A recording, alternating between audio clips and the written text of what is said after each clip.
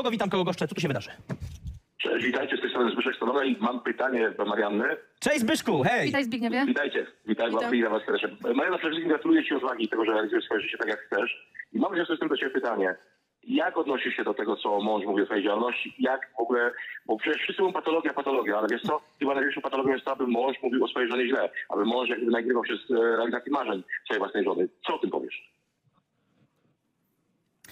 E, dziękuję Ci za to pytanie i za te słowa, które powiedziałeś. Niezmiernie są dla mnie ważne i na pewno gdzieś tam uderzają mnie w serce.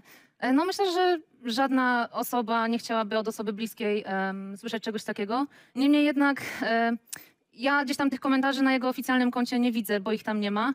E, nigdy mój mąż mi tego prosto w oczy nie powiedział. Wiedział od początku, że, że walczę, z kim walczę, kiedy walczę, kim jest ta osoba, jak wygląda i tak dalej. Przegadaliśmy to setki razy.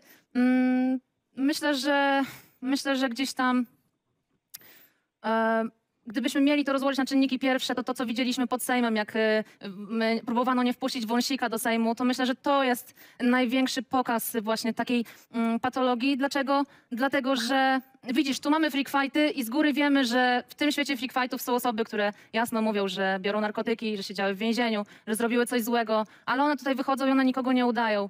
A e, politycy to są osoby, które no, jakby reprezentują naród polski, które jakby mm, decydują o naszym życiu i gdzieś tam nie chcielibyśmy pewnie my jako Polacy widzieć freak fightów w polityce.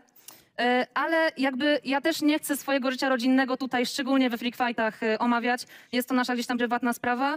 E, I, ja myślę, że mój mąż nie chciał nic e, złego złego powiedzieć, tym bardziej, że no nie wiem właśnie na ile jest to prawda, bo ja tych e, komentarzy na jego oficjalnym koncie nie widzę. Można to sprawdzić, nie ma ich.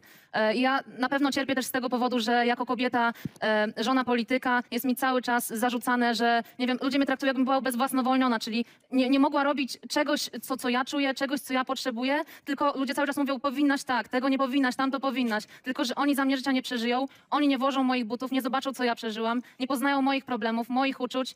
E, I ja swojego męża wspierałam przez bardzo wiele lat, jesteśmy małżeństwem prawie 10 lat.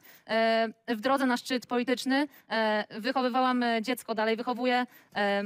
Studiowałam, pracowałam jednocześnie, e, e, otrzymywałam stypendium naukowe co roku e, na, na, na Państwowej e, Uczelni Dziennej i jakby ja uważam, że zrobiłam wszystko, co, co mogłam. Oczywiście, że tą partią polityczną czy innymi rzeczami bardzo skrzywdziłam swojego męża, ja się przyznaję do tego i mówię to szczerze. Natomiast ten temat właśnie freak fightów czy, czy tego wszystkiego, w czym jestem teraz, ja uważam, że personalnie mojemu mężowi mogłoby zaszkodzić to, że gdybym teraz na przykład startowała z ramienia Platformy Obywatelskiej na prezydenta Bydgoszczy, no to wtedy można by było mówić, zarzucać mi, że ja wiesz, szkodzę, ale w tym momencie ja mu nie robię krzywdy, nie łamię prawa. Nawet jak tu jestem, jestem obrzucana błotem i mieszana z gównem, za przeproszeniem, i uderzana, i oblewana czymś i tak dalej, poniewierana. To zobacz, ja tego nie reprezentuję, nie? Tyle. To jest moja odpowiedź długa, przepraszam, ale myślę, że wyczerpująca.